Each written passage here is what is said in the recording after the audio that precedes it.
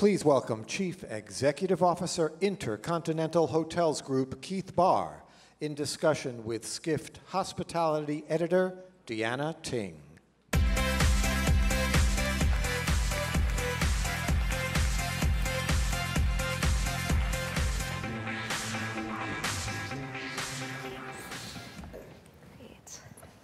right, well, thanks so much, Keith, for joining us. I know Thanks for letting me be here. from London, but um, we so appreciate you being here. Um, before we begin um, this session, I want to remind everyone that you're more than welcome to submit and upvote any questions you might have for Keith. We're going to try to answer them at the end of our conversation by using um, the event app or Slido and uh, the hashtag Skift Forum. Okay, so Keith, you're the CEO of Intercontinental Hotels Group. Your brands include Holiday Inn, Crowne Plaza, Kimpton, Hotel Indigo, Avid, even Chris Nassetta knows what that is.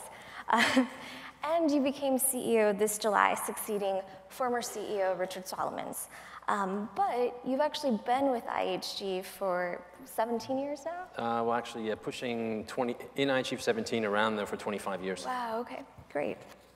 So, you've officially been CEO for about three months now. Uh, what's been the most surprising or unexpected thing about your new role?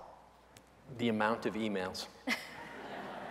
You know, I didn't think it was humanly possible to get as many emails in a day from some of you in this room, I think, actually, um, talking about how they can solve all of my challenges around data, UX, loyalty, technology, corporate tax rates. I mean, literally, things I didn't even know I was supposed to be worried about. I get emails about it on a daily basis. But um, all kidding aside, it was, you know, it- was sort of just an inundation of in- information coming from all and how do you filter that out. And um, some of it's been great though. I mean, I've been with the company for 25 years, worked in the US, Australia, China, globally, and, you know, getting emails from business partners, owners, and colleagues, just uh, support. You know, talking about it's great to have someone who's actually been a general manager running the company, someone who has worked in China and gets China in the role. So it's been a it's been an amazing experience, and um, also with customers too. I was, you know, amazed at the time that people will take, not to complain, because you do get those, but to share these incredibly touching stories about what happens in our hotels every single day. Um, clearly, the hurricanes recently have been a tragic event, and I was talking to our head of communications about one I got yesterday about the Holiday Inn Express in Clearwater, Florida. And this woman got displaced from their homes and talks about going into the hotel at 2 a.m. and the staff being there, all of whom were losing their homes and looking after people and looking after her dog who was 14 years old and needing special food and the staff were helping to prepare that. And, you know, it's an amazing industry we operate in. And I think one of the, think maybe Danny said it, you know, if you're in this business, you like taking care of people. You like being out there. And, um, you know, I see that every single day around the world. Right. And speaking of Danny Meyer, um, something you, you revealed to me backstage was that actually your very first job in hospitality was when you were 13 and you were a dishwasher. Yeah. But that you also studied to be a chef as well. Yeah. Um, and so you, you could have been you could have been the next Danny Meyer. Who knows? I Um, know, I know. the, the, the, the path's not taken. I, you know, do you ever think about that and, and whether or not you, you, you sort of wish or wish oh you'd gosh, explored yeah. that path I more? mean, some people that know me, I'm a passionate foodie. Mm-hmm. You know, and I just love that aspect of the industry, and I get to dabble in it. I mentioned, um, you know, I get to, well, in my past jobs, I got to, you know, design a restaurant or two here or influence it. Mm-hmm. Um, I think though, if in this job, if I'm designing restaurants, I probably won't be in the job too long. Mm-hmm. I mean, it's probably not the highest and best use of my time, but you know, I, I love this industry, and I love food is such a, a vibrant, exciting part of what we do. And so, you know, we've got great brands like Kimpton Hotels and Restaurants. Right. And, you know, you see us opening up great design-led boutique hotels and killer restaurants and bars as well with their, delivering that great experience too. So um, I'm staying over at the Eventi in, uh, on 6th That's right by your office. right by your office. And you know, you go in, it's a, I mean, just the, the buzz that's in that hotel. I walked in yesterday at 1.30 in the afternoon, wondering why aren't these people working? Because the, the bar is full, the restaurants are full, the lobby's full, you know, and that's what makes this industry so exciting. That's great. Um, so, kind of back to your, your new role, um, I wanted to ask you, you know, what do you want to do differently from Richard, and what do you sort of want to keep the same? Uh, I'd like to have the share price move the same as it did under his tenure, because that was a pretty good move. Uh, you know, Richard and I have known each other for a long time, and I was critical in set, setting the strategy. And so, you know, our asset light strategy, which you've heard some of our other companies talk about, you know, we're done with that. You know, we have 5,200 hotels around the world open today, 1,500 in development. We own eight. I mean, so we're a brand company through and through, becoming more of a technology company every single day. And so it's really leaning into that of what does that mean going forward? Of how do you accelerate growth in a company of our scale uh, with the brands that we have and also the platforms that we have? And you know, I was asked. I just finished doing a round the world trip. So I was in uh, Atlanta, then I went to Singapore, Shanghai, and met with our European team as well. And I've spoken to about 1,200 colleagues in town halls and talking about kind of where we're at as a company and opening up to questions and answers. And the first town hall, I was caught completely off guard. And somebody asked me a question, said, after a year of being chief executive, what will success look like? And I was like, well, I've been thinking a lot about what we need to do and where we're headed, but what would success look like? And, and many people would talk about, well, the share price is up X percent, or we've grown by so much. And I, and I, I said to the crowd, I said, let me give you a very personal answer. It's just going to be easier. I said, it's going to be easier to get things done, easier to deliver innovation into the market, easier for us to deliver new guest experiences, easier for us to deliver new technology into the business. And how do we as a team organize ourselves to be more entrepreneurial and move faster? Because we're in an industry that is moving faster and faster every single day. And so, whilst we're all getting bigger, you actually have to be moved even faster as a big company today to compete effectively. So technology has been a big buzzword throughout Huge. this conference. Um, uh, you've had some other fellow hoteliers mention, you know, that they're testing out chatbots, they're testing out, you know, voice search. Um, they want to develop connected rooms uh, using the Internet of Things. What does how do you sort of see technology playing more of a role in the guest yeah. experience with IHG? I think of technology um, in, in, in, two distinct ways. One is I think there's many things that we can do on technology that isn't transparent to the customer, that drives value for owners, and that's around marketing tech, that's about revenue management, utilization of AI, and so forth. How do we price and merchandise and sell better? And that's critical for our industry moving forward, and we're doing a lot in that space. Customers won't directly see that. I think when you talk about customer-facing technology, you have to ask yourself, what are you trying to solve for? Because you can do tech for tech and do lots of interesting things that add very little value to the customer journey. And my view is you have to look across the customer journey and saying, how can I use technology to remove friction?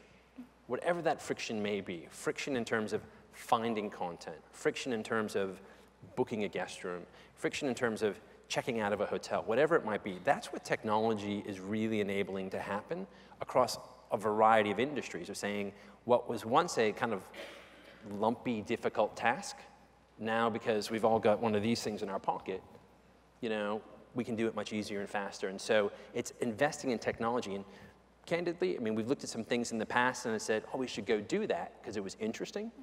Then we really drilled down into it. It didn't have a big impact on customers. And so one thing we've just started doing this year is mobile checkout, for example. Mm-hmm. It's in 2,600 hotels. We're scaling it up, and I think we've had, you know, not a lot, 250,000 checkouts so far. And I use it all the time now because it's removed a friction point. You know, I can look at my phone, real-time folio review, going, see all my charges, click checkout, it emails off to my assistant. I don't have to worry about it. Didn't have to get a copy of my bill, didn't have to go to the front desk, didn't have to do anything. And so that's how I think you have to think about technology. Mm-hmm. Another thing people mentioned too was sort of personalization. So, how far can the hotel experience actually be personalized right now, and where do you sort of see it going forward? You know, I think we'll continue to progress more and more. And so, you know, we've got an award winning app, and it, we continue to put more and more personalization into that in terms of stay preferences and giving content to our colleagues as well, too. And so, we've launched a number of tools where now at the front desk they know where you stayed most recently. Did you have a problem in that last stay? Um, how did you book your reservation? Do you have any special requests? And we're building more and more functionality in there to enable our colleagues, but you, to be able to engage with customers that way. But you have to automate more and more. I mean, again, we've got nearly 750,000 hotel rooms around the world operating right now, and another 250,000 in development that's a lot of people in a lot of hotels. And if you're relying upon them to try to do everything consistently, you're going to struggle with it. So you have to think about how can you use technology and automation to deliver a more personalized experience and make it easier for our colleagues in the hotel to do that. Great. Um, so going back to Richard, I know he spoke at our inaugural uh, Skift Forum Europe in, in, April, right after the Brexit vote. Um, you know, it's been a few months since then, but when the vote initially came out, you know, IHG sort of stated that the company didn't foresee that huge of an impact on its business because of it. Um, I'm wondering, you know, a few months have passed now. Has there been an impact? Do you sort of foresee any other additional impacts that? With Brexit? Yeah, with Brexit or? You know, it's, I mean, uh, I live in the UK, uh, been there four and a half years, couldn't, couldn't vote yet. Um, so, I mean, the British people made that decision. The, the UK, it's 5% of our business. Europe is 14% of our business globally. So it doesn't have a material impact. I think the big question mark is what is the future of the relationship with the UK, with Europe, and how is that going to evolve? And there's a lot of uncertainty around that right now. Um, many of you saw in the papers over the weekend in the UK, you know, more and more uncertainty around what that structure of the relationship will look like. I think the great thing about being a global hotel company is we're in so many different markets that it sort of, you know, swings and roundabouts. Some markets are, you know, Middle East is really tough right now, mm-hmm. but we're actually having fantastic results in the UK. Um, candidly, the pound actually got devalued pretty materially post Brexit. So it's a boom for travel to the UK right now because it's on sale. Mm-hmm. And uh, so it'll be interesting to see how it shapes up, but it doesn't have a material impact on IHG. Right, and as a, ho- a global hotel company, I've been sort of interested, you know, there's been a lot of talk this year about travel bans, about restrictions, about uncertainty in travel. It's a theme of our conference here um, today. I, am just wondering, you know, how closely are you paying attention to what's happening on sort of like that geopolitical scale? And, you know, how concerned are you about this type of rhetoric that's being issued by our president, uh, you know, regarding travel bans? And, you know, do you think that that maybe it won't have a material impact on the business, but how do you think that, what kind of an impact do you think it'll have on travel? It's not going to have a material impact on business. I don't think it's really going to have a material impact on travel. Um, I just don't think it's good to have any sort of conversations that are focused on restricting people from moving from country to country. I mean, travel is an, an inherent right, you know, and I was always amazed. Think about after 9 11 and then the horrific events that took place, business travel did come off. I mean, we saw, all saw that in this industry. Leisure travel continued because people want to be able to go and see friends and family and have that time away. And so I think, you know, we want to encourage governments to be very, very thoughtful about that and encourage, you know, I've been privileged to live all over the world. And the more time you spend getting to know people in different parts of the world, the more you can appreciate the differences and the similarities and really how being more connected is a good thing and being more insular is not is a bad thing. And so, you know, on a personal level, I always will encourage that. Right, and speaking of your international experience, uh, you were IHG's Greater China CEO for four years. Um, you know, during your tenure there, what was sort of the most surprising thing about that market, and why do you think it's historically so challenging for Western companies to just sort of get it, to, to be able to, to succeed in that market? Yeah, I mean, we've had phenomenal success in Greater China, as you know. It was 100 hotels when I went there and I built a strategy to grow our China business. It was 200 when I left. We just crossed over 300 hotels now and have another 250 development. Uh, I've launched our franchising platform for Holiday Inn Express. So I'm often asked advice from people who want to go to China, and, I, and they say, "What should you do?" And I said, "Start 30 years ago, like we did." I mean, you know, we've been in that market since 1984, have deep relationships and understanding of how to go to market there, and, and also how to operate. You know, I often, you know, will talk about. I mean, that is a mobile first market. So you don't, shouldn't even be thinking about desktop, you know, and um, I see some of my team in the room and, you know, we were building out lots of functionality originally. I'm like, oh, we got Google Maps. Well, that doesn't really help us in China. You know, you've got to be thinking Alipay, UnionPay, WeChat Pay, vertical integration into China. And so, you know, it's a market that, um, would I say we've completely cracked it? No, but we're doing better than everyone else. And, you know, we're seeing great revenue and profit growth out of there but also just a deep understanding of the relationships of what it takes to work in China. And in some ways, China is way ahead of the rest of the world. What can the greater travel industry sort of learn from the, from I mean, their focus on mobile and vertical integration is extraordinary. I mean, the way they think about the, I mean, it's, I mean, most of our, um, most of our revenue actually comes through mobile now, not through desktop. And they really think mobile first. People say it, they fundamentally just do it.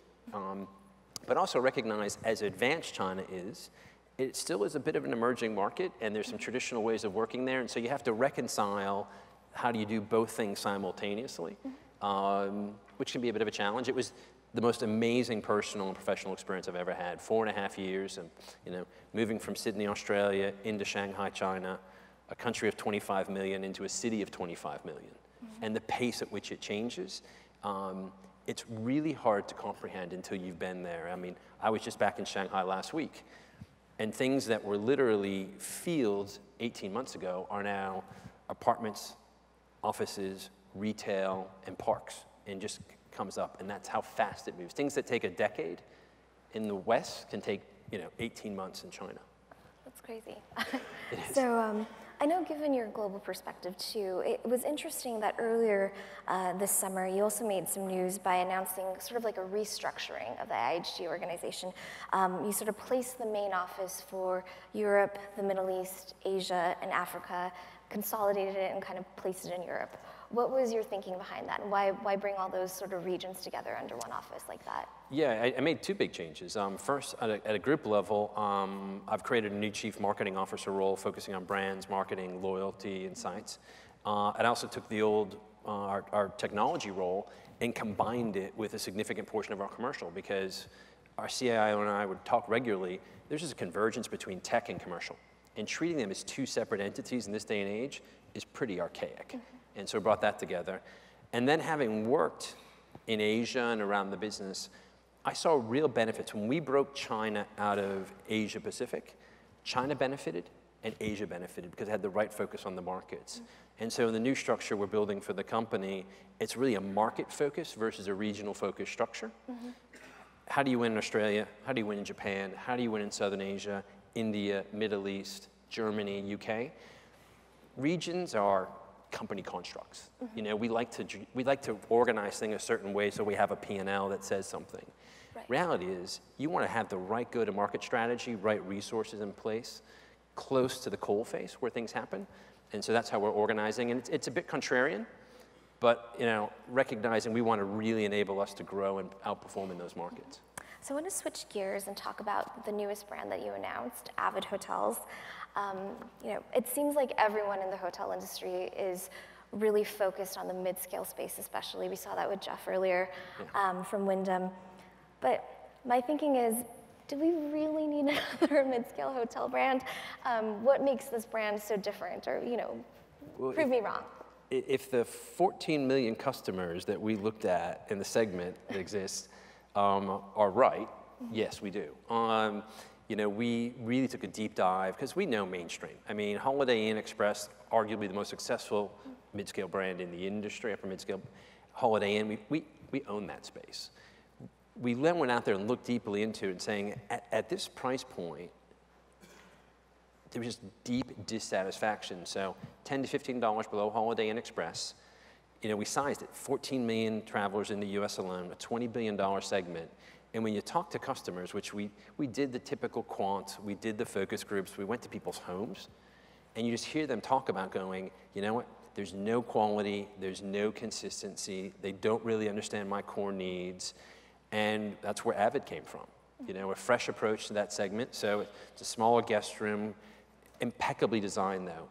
You know, cutting edge in terms of noise cancellation, great HVAC, great in-room technology, grab and go breakfast, really efficient space. Um, and we already have 150 expressions of interest from owners to build in the US, and that number will accelerate pretty quickly too. So owners are telling us they want the brand, and customers are telling us they want the brand. And so um, I think it will be our next big thing for IHG. Great. So I know um, coming up next we have Airbnb co-founder uh, Nate um, Nathan Blecharczyk uh, coming up. And I wanted to ask you, you know, you now own Kimpton, which was sort of the original hotel disruptor. Today's disruptor is Airbnb for the hotel industry. Um, given the way travelers have really sort of embraced alternative accommodations, what do you think hotel companies like AHG can learn from a disruptor like Airbnb? And here's another question too, but I always hear from hotel CEOs, they always say, Chris said it earlier, Chris Nassetta from Hilton, you know, Airbnb is not really a threat. They, you know, they're different. They have different audiences, different uses. So if Airbnb isn't the threat, then what is the threat to the hotel industry? Sure. I mean, I, I think we've proven by now that Airbnb is not an existential threat to the industry because the roles that hotels play in society, in development, in real estate, and so forth, and in corporate travel and leisure travel. So, um, but it is disingenuous to say that Airbnb has no effect on the hotel industry because that would basically be saying that in no time has anyone ever said, you know what, maybe I'll stay in an Airbnb versus a hotel.